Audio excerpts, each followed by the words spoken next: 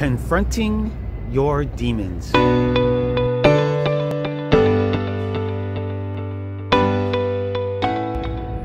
Hello, all you beautiful souls out there in my social media family. How are you doing today? My name's Chris, and I'm here to help you find your happiness.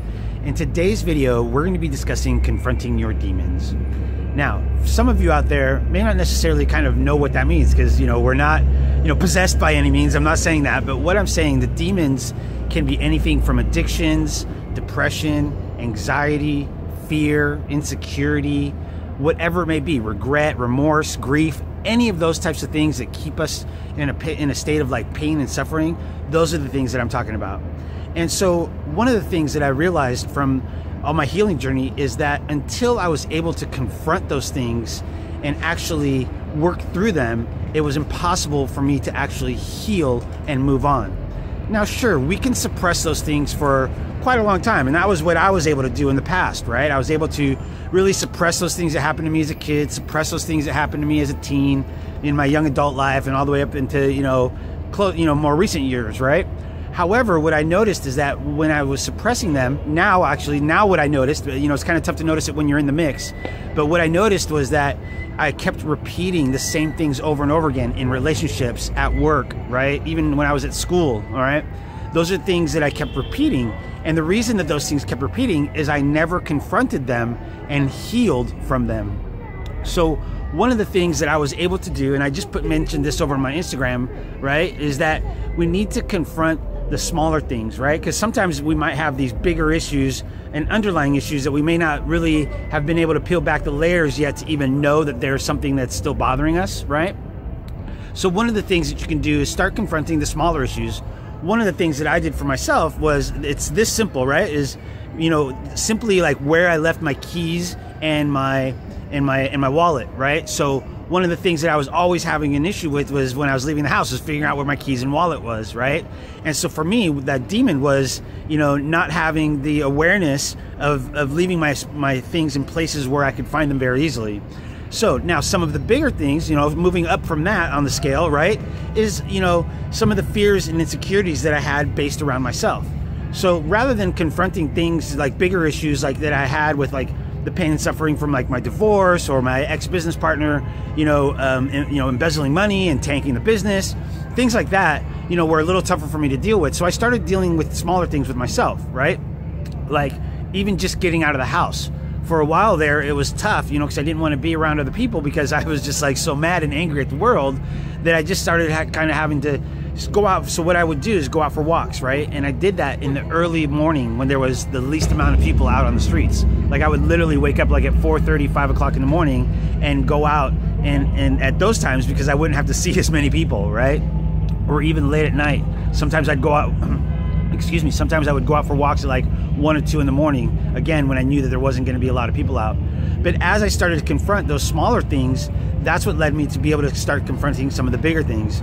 Now, I don't know what you know you've gone through. All of our stories are different. We've all been through things that you know may seem small to me, but are much bigger to you, right? For some people, getting out of the house is a very, very big thing, right? They have that phobia of being out in, in public and and putting themselves out there in a spot where they may feel like they're going to get you know beat up or you know whatever it may be, right? But anyways, when you can start to confront those things that have happened that is when you start to um, actually when those cycles stop happening over and over again. That's when you can really start to begin to find your happiness. So one of the things that i'm really really encouraging all of you to do is to figure out what those things are. A good way to confront one of your you know some of your demons and i mentioned this in the video where i talked about you know um, some things to get out of a bad mood is to be able to journal now, that was one of the easiest ways for me to be able to start confronting some of these demons. And by confronting them, I'm not mean like, you know, wrangling down and, and, and, and, and you know, fighting them out of yourself. What I'm talking about is being able to start releasing those things from having control over your thoughts and your emotions and therefore the way that you behave out in the world, right? So journaling was a very, very good way for me to at least, at minimum, get those thoughts out of my head and, and to start being able to kind of figure out those emotions.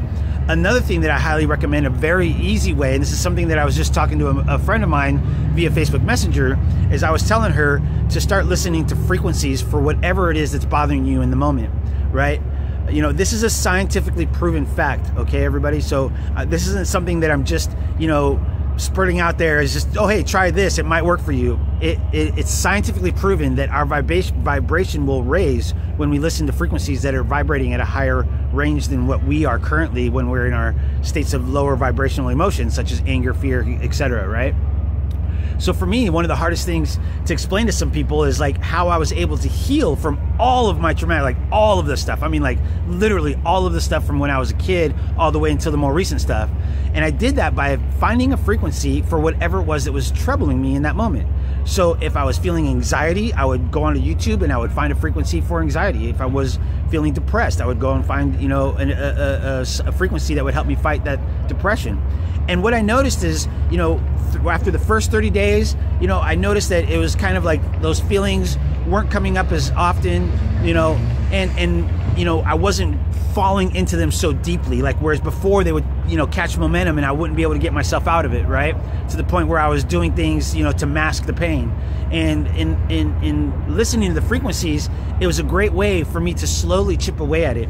And that's one of the things that I want to really um, also kind of emphasize in this video is when we are starting to focus, like confront our demon, focusing on confronting our demons, it's not something that you're going to go from down here to up here overnight, right? So I really want to encourage everybody to start taking those baby steps. Be happy with a little bit of progress towards fighting those demons and confronting them, right? Because one of the things that you're going to notice is the first day you might get, you know, to the front door, so to speak, right? The second day you might get out the front door into the sidewalk. Third day you're going to get halfway down the block. Fourth day you're going to get, you know, two or three blocks down. And the next thing you'll notice is you'll be so far down the road and you'll look back and you'll be like, wow, like I actually was able to confront all of those and now they no longer affect me. So, again, by confronting our demons, we're able to heal them and move past from them and really find our happiness. All right, everybody, I hope that you enjoyed this video. Don't forget to smash that thumbs up button and please share this video with somebody who, you think might benefit from it because we never know when the right words from the right person will find somebody at the right time and help them find their happiness. All right, everybody, until next time, don't forget to join me over on the Vibe Tribe group page. All right, there's also follow me on Instagram for exclusive content. And if you don't have the time to watch all these videos, you can also now listen to me on Anchor.fm and Spotify so that you can just play those in the background and listen to all these videos, uh, to the audio clips of all these videos. All right, until next time, I'm sending you all much love. Namaste.